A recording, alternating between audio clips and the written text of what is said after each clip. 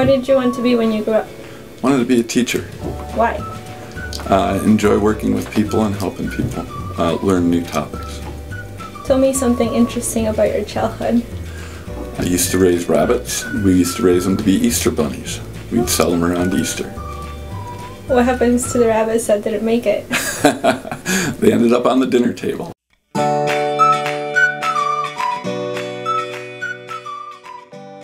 What motivates you? Um, just helping people out. I like like working with people. Who would play you in a movie? Well, that's a tough one. Uh, might like to think Tom Cruise, but I don't think that I'm quite that action oriented. How many states have you visited? Uh, probably about 42 or 43.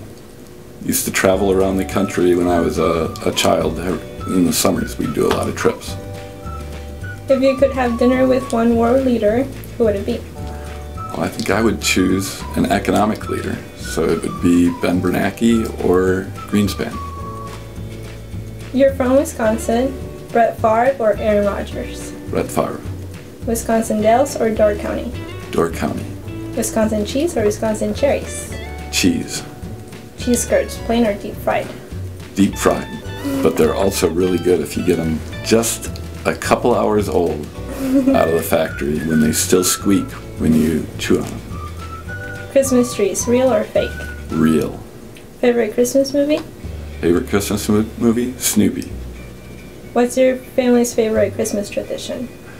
Getting together, opening presents Christmas morning, especially the presents from Santa. Preferred method of travel? Planes, trains, or automobiles?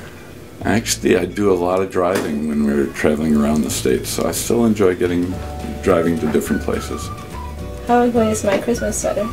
How ugly is your Christmas sweater? I actually like your Christmas sweater. That's up.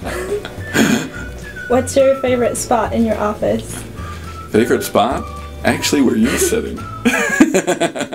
Awkward. What's your favorite Kelley moment? My favorite Kelley moment? Watching some of the students win some of the competitions uh, for the Kelley School and representing the Kelley School of Business.